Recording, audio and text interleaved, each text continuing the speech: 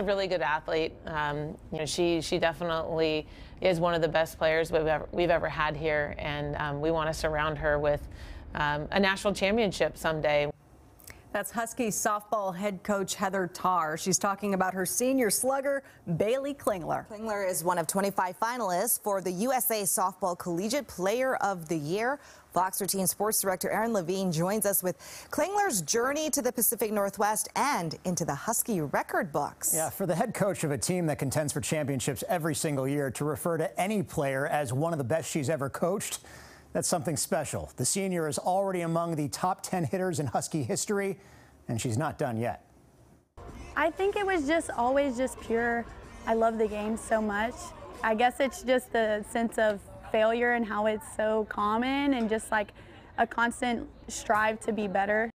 Husky senior Baylee Klingler's love for the game now finds her leading the Dawgs. A grand slam for Baylee Klingler and leading the Pac 12 conference in home runs, RBI, and slugging percentage this season. Statistically speaking, toward the top of Division One hitters as well. I think, ironically, sometimes in those crazy situations, I get more calm than um, whenever it's not in those crazy situations. But um, I think just getting to my breath and keeping things simple, not making the moment bigger than it needs to be, and um, knowing that no matter what happens, like these girls have my back.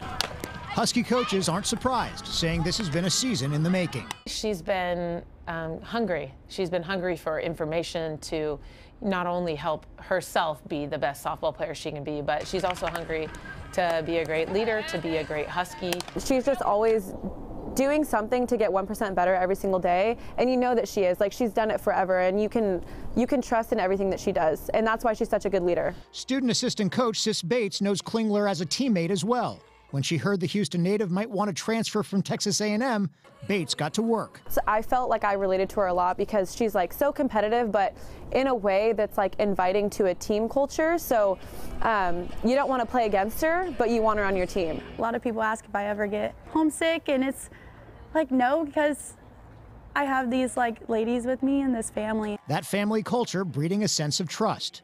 Klingler says whether playing third, shortstop, or wherever the team needs her, she's ready. Just making sure we're in each other's back pocket and we kind of expect what's going to happen and things like that. So, yeah, I think just overall the biggest thing has been again the family environment that's that Coach Tarr's created here. Part of what she's created is a winning tradition, something that's not lost on the senior slugger.